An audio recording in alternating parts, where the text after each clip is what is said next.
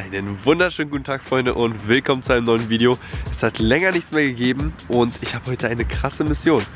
Ihr seht, ich bin an einem schönen, glatten DAV-Teich und mein Papa hat letztes Jahr nicht einen einzigen Hecht gefangen. Nee, doch, einen Hecht hat er gefangen. Das möchte ich dieses Jahr zu Jahresbeginn schnell ändern, dass er gleich einen bekommt. Deswegen bin ich heute mit meinem Vater, derjenige, der mir das Angeln beigebracht hat, als ich klein war. Heute zeige ich dir, wie man Hechte fängt. heute haben wir die Mission, meinem Vater einen Hecht zu bescheren. Leute, ich hoffe, wir schaffen es. Was denkst du, Papa? Schaffen wir das? Na klar, mit dir schaffen wir das. ja, also Leute, ich hoffe wirklich, dass wir es schaffen. Wir bauen jetzt noch das Schlauchboot auf, Routen und Tackle rein. Ich habe mich ein bisschen begrenzt. Eine Box sollte reichen. Ähm, es ist relativ kalt. Die Fische werden mit Sicherheit nicht sehr wählerisch sein, wenn was vor die Fresse kommt. Beißen sie, denke ich mal, hoffe ich mal. Und mal gucken, ob wir was fangen.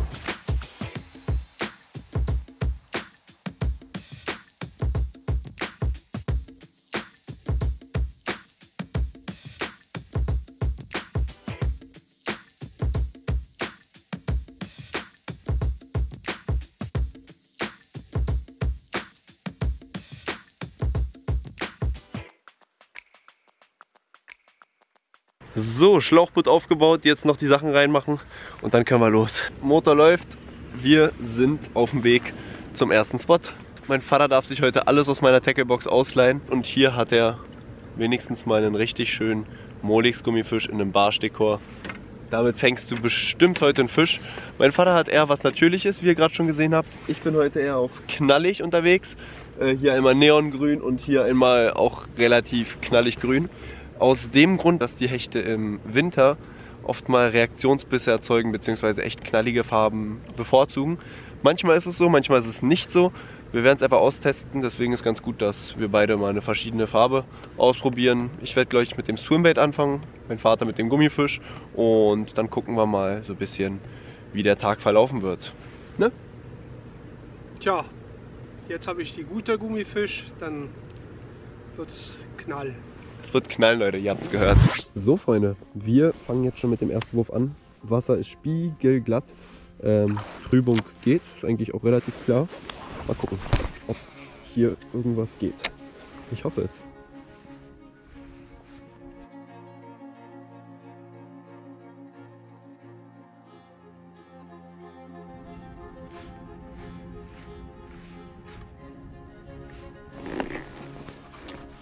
Schön ans Schiff werfen. Hat's ein bisschen? Hänger oder was? Ja. Vater hängt irgendwo im Wasser. Ich habe jetzt schön ans Schiff geworfen. Jetzt im Frühjahr stehen die Hechte öfters mal schon richtig flach. Weil sie sich schon langsam mal vorbereiten zum Leichen. Gut, ist zwar noch viel zu kalt dafür, aber trotzdem. Kann schon sein, dass ein paar Fische hier stehen. So Freunde, wir werfen jetzt schon seit einer Stunde, haben noch keinen Kontakt bekommen. Ich war bis jetzt hier an diesem See dreimal immer im Sommer und ich habe auch nie geschneidert. Wir werden auf jeden Fall weiter suchen, probieren, ein bisschen Köder wechseln. Irgendwie müssen wir die Fische auf jeden Fall finden, aber ich sehe jetzt schon, es wird kein so einfaches Spielchen auf jeden Fall. Aber mein Vater muss heute seinen ersten Hecht des Jahres fangen und da kämpfe ich für da kämpfe ich für. Also Leute, wir werden den ganzen Tag auf diesem See verbringen. Wir werden überall suchen, suchen, suchen, bis wir einen Fisch für meinen Vater gefunden haben. Leute, ich mache mir mal so einen lustigen Softjerk ran und baller den hier einmal unter den Baum. Mal gucken. Wäre schon lustig, wenn ich hier empfange. Der bleibt wenigstens nicht hängen. Kann ich überall hinballern. Sieht doch ultra geil aus, ey.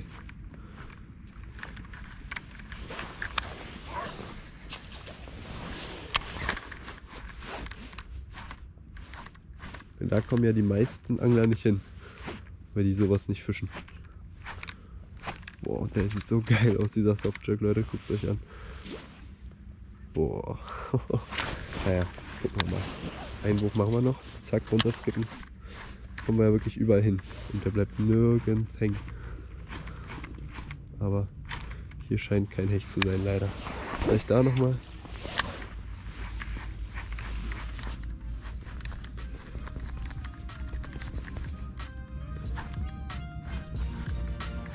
Leider nicht. Schade. Der sieht so geil aus, Leute, oder? Seid ehrlich.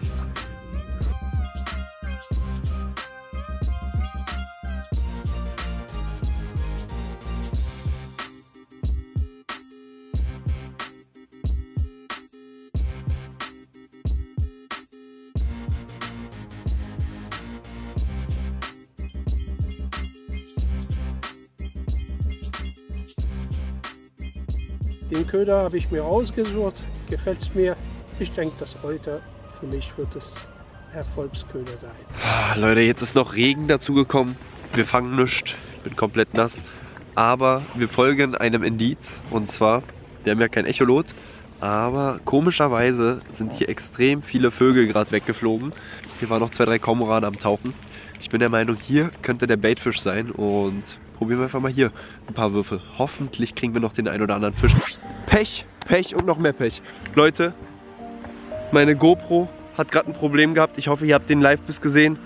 Datei wird repariert. Erste Scheiße. Zweite Scheiße, Papa, guck mal bitte. Was ist da passiert? Das Stahl ist noch ganz, der Snap ist einfach abgegangen. Die GoPro macht Stress. Lief die ganze Zeit. Dann habe ich raufgetippt, da steht, Datei wird repariert. Warum auch immer. Wir hätten sogar den Live-Biss drauf gehabt. Dann regnet es jetzt noch die ganze Zeit und alles ist nass, die Kamera ist nass und mein Vater verliert den Hecht, weil der Snap einfach kaputt geht und den Gummifisch natürlich auch. Scheiße für den Fisch, scheiße für meinen Papa, alles kacke. Tja, äh, Leute, ich bin schockiert, ja. Ich habe sowas noch nie gehabt. Snaps kaputt gegangen, so gebrochen. Keine Ahnung warum, aber müsste halten. Also damit habe ich schon öfter Hecht gefangen und sollte nicht kaputt gehen. Aber es ist kaputt gegangen. Ja, der schöne Gummifisch ist weg. Ärger dich nicht, Papa. Ich habe genug, ich hab genug Gummifische, alles ja, gut. das weiß ich. Das ist auch nicht ein Gummifisch, der äh, wahnsinnig viel Geld kostet oder so. Ja, Naja, 6 Euro oder so. ja gut. Such dir mal was aus. Ich mag immer bisschen. Ich glaube, was dir gefallen wird, ist der hier jetzt. Ja, sowas kann sein. Sowas, oder? Ja, das geht auch. Aber der hat auch schon. Power gehabt. Ja, Ich sag dir, der hatte 70, 80. Vor allem, ich kenne die Route ja. Die hat früher mal mir gehört. Bis? Nächster. Nein. Schon wieder einen verloren. Ey, aber ey, du bist der Master. Du weißt, wie es geht. Zweiter Wurf? Ne, dritter Wurf. Da hinten also. So, vielleicht Hast du krieg ich das jetzt gesehen? ja. ja, ich hab's gesehen. Da hing kurz wieder einer. Nicht schlecht, Papa, nicht schlecht. So, leider macht meine GoPro gerade ein paar Problemchen. Hier, den mache ich mir jetzt ran. Probiere es halt mit dem. Knall ich. Könnte die vielleicht motivieren, richtig rauf zu scheppern.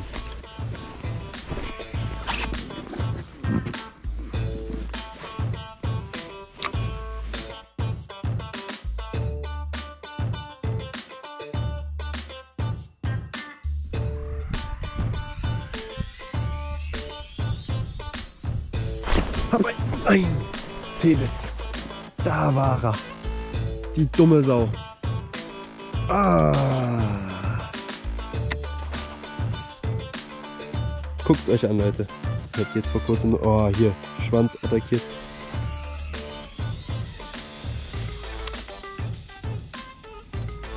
Oh, oh, da, da, da. Guck mal. Der war hinterher. Der war hinterher. Oh, vielleicht sieht man es auf der GoPro. Ich wollte nur gucken, wie tief es ist. Und der ist äh, abgezischt. Da war schon wieder ein richtig. Der war schön, 70, 80. Alter. Leute, hier am Spot sind richtig, richtig viele Hechte anscheinend.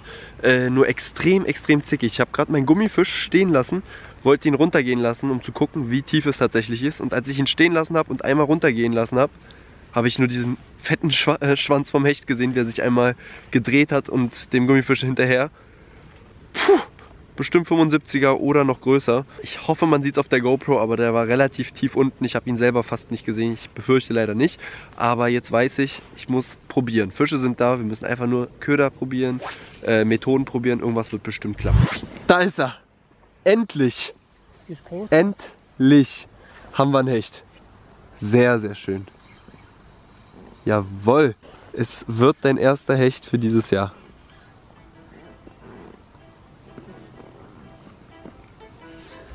Er hat sich komplett den Köder einmal rumgedreht. Ja. Deswegen ist er nicht abgegangen. Guck mal, der Haken hängt nicht mal mehr gefühlt. Ey, der Haken hängt wirklich nicht mal mehr. Der hat sich nur rumgedreht. Die hängen heute alle nicht. Die, der hat da nur Pech, weil er sich umgedreht hat. ist das geil. So, Papa, da ist dein allererster Hecht dieses Jahr. Wir sind uns einig, ist kein Monster. Genau, das ist ein kleiner, aber lieber ein klein als kein. So ist das. Kannst du Genau. wieder reinmachen, den Kleinen. Ja, der ist sehr klein. Einmal rennen mit dem. Danke Jungen. dir. Und schick mal deine Oma.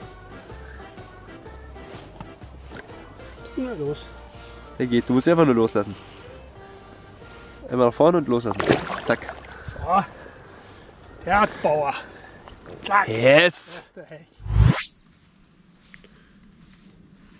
Regis, kannst du vielleicht kurz auf dein Handy gucken, wie spät es ist? Oh, da war der Biss. Ich glaube es nicht.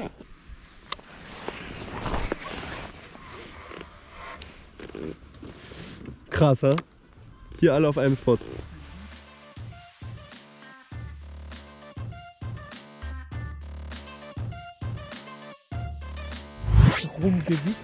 Der, ja, der hat sich rumgedreht. Naja, der ist.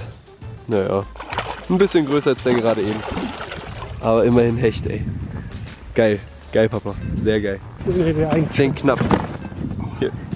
Hingefallen. Soll ich ihn greifen für dich? Okay, ich greif den. Yes, Papa. Yes, yes, yes.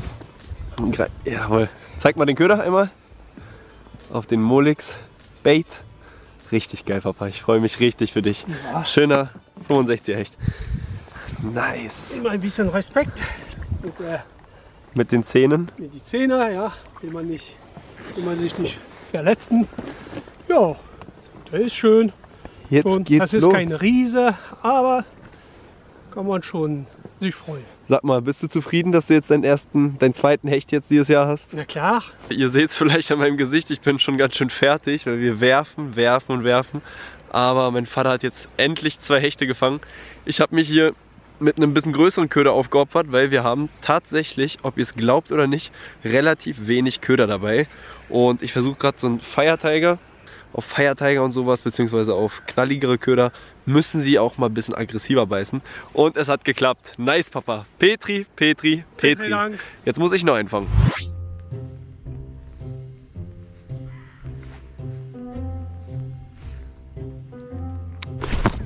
Oh, gibt's nicht. Da war er, schon wieder.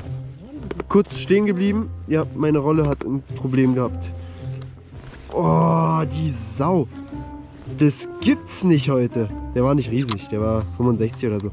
Aber, ey, sind die heute nervig, diese Hechte. Mann, Mann, Mann, Mann, Mann, Mann, Mann. Den müsste man aber auf der GoPro, glaube ich, lehnen. Wenn man den nicht sieht, dann weiß ich auch nicht. Boah, sind die heute assi, die Hechte. Richtig assi. Der hatte ihn im Maul. Oder mehr oder weniger sein Maul offen. Den Köder fast drin. Fing schon wieder nicht, ey. Ich glaube es nicht. Mann, Mann, Mann, Mann, Mann, Mann, Mann.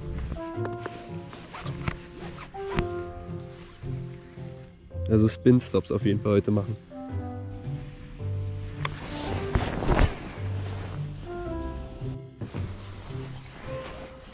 War ja klar, dass genau in dem Moment die GoPro nicht funktioniert. Aber ein Hecht habe ich auch dran. Aber ist ein kleiner. Ah komm, mein Kleiner. Das gibt's nicht.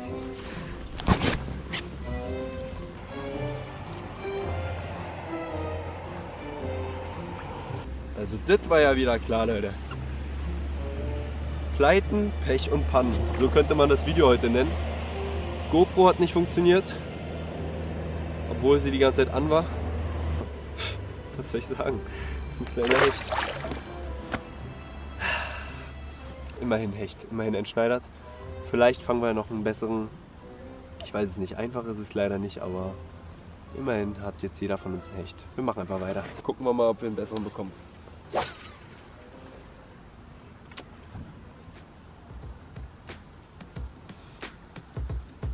Leute, so ist es. GoPro ausgemacht, ich habe es aufgegeben. Und da kommt plötzlich der Biss, gleich der schönste Fisch des Tages. Ja, der ist schon schön. Jetzt vernünftig Frage, bitte. Diese Kescherchen. Ja.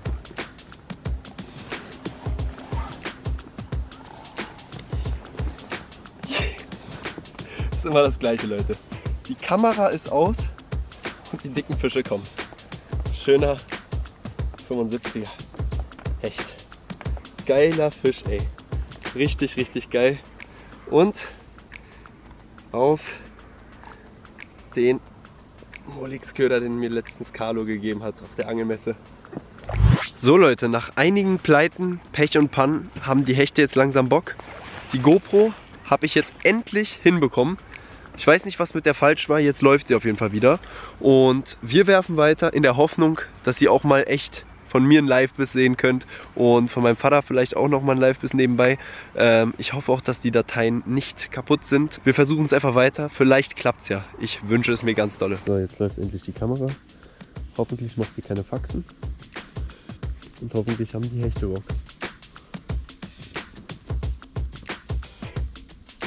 Heckt! Oh, schöner Biss. Geil! Alter! Der ist auch nicht verkehrt, der Hecht. So groß ist er nicht, aber der hat richtig gekämpft. Alter Schwede. Alter Schwede, Leute, aus einem Tag, der heute wirklich nicht einfach war. Das war heute wirklich nicht einfach bis jetzt. Ähm, Gab es jetzt eine kleine Wende. Die Kamera hat nicht funktioniert. Äh, die Fische hatten keinen Bock. Plötzlich, wo die Fische Bock hatten, lief die Kamera nicht. Jetzt habe ich die Kamera, ja, läuft. Deine Kamera läuft auch. Und jetzt habe ich einen Hecht. Ist zwar kein großer, ne? Der darf auch sofort wieder schwimmen gehen. Aber ey Leute, immerhin läuft es jetzt wieder ein bisschen. Oh, Alter, das ist eine Erlösung. Wir haben jetzt beide Hechte gefangen und ich freue mich einfach. Also wir haben zwar noch keine Monsterhechte gefangen, vielleicht klappt es ja noch. Wir werden auf jeden Fall noch zwei, drei Würfchen machen. Ähm, Wäre auch schön, wenn wir einen großen fangen, aber schon wieder, also davor der Hecht, bevor ich den hier gefangen habe, da lief die Kamera nicht. Habe ich zehnmal raufgedrückt, läuft nicht, läuft nicht, läuft nicht. Ich hoffe, ihr verzeiht mir das, Leute. Wir machen jetzt weiter. Ich hoffe einfach, ja, läuft noch, dass die weiterläuft und jetzt sich nicht mehr verabschiedet. Und dann ist alles super. Einmal weitermachen. Da geht noch ein Hecht.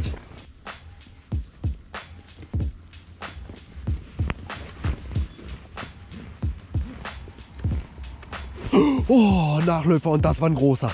Oh, alter Schwede. Da war ein 80er Nachläufer, Papa. Mhm. Papa, kurz vor Schluss fängst du hier noch ein. Alter. Alter. Und du sagst mir, das ist ein großer. Hast du mich gerade verarscht? Hast du wirklich gedacht, dass der groß ist? Achtung. Leute, das war's. Ciao, ciao. So, Freunde. Ich glaube, es ist Zeit, Stopp zu sagen. Die GoPro will mich heute wirklich komplett ver... Ja, ich werde mir auf jeden Fall eine neue GoPro kaufen müssen. Wir haben wenigstens das Ziel von meinem Vater erreicht. Zwei Hechte für meinen Vater. Ich hatte auch zwei Hechte, drei Hechte sogar. Die kleinen hatte ich auch noch. Grundsätzlich so schlecht war es nicht, aber ihr könnt verstehen, glaube ich, dass ich ein bisschen geärgert bin, dass meine GoPro nicht mehr funktioniert und dass die Hälfte der Live-Bisse nicht drauf sind und so weiter und so fort. Ich werde auf jeden Fall eine neue GoPro kaufen oder die irgendwie reparieren und im nächsten Video seht ihr dann auf jeden Fall mehr Live-Bisse. Also hat es sich gefreut, mal wieder mit mir angeln ja, zu klar, gehen. habe ich nicht mehr die Möglichkeit, so oft mit dir angeln zu gehen. Und das ist für Vater wieder ein sehr schöner Moment gewesen und freue ich mich auf nächste Trip zusammen. Ja, mich hat es natürlich auch gefreut, wieder meinem, meinem Vater, meinem Lehrer des Angelns, denn der war mit mir das allererste Mal in meinem Leben stüppen, ähm, angeln gewesen zu sein und ansonsten, ich meine, wir haben jeder drei Hechte gefangen, waren keine Monster, aber das grundsätzliche Ziel ist erreicht und ich wünsche euch einen schönen Abend, wenn ihr das jetzt abends schaut und bis zum nächsten Mal. Ciao, ciao.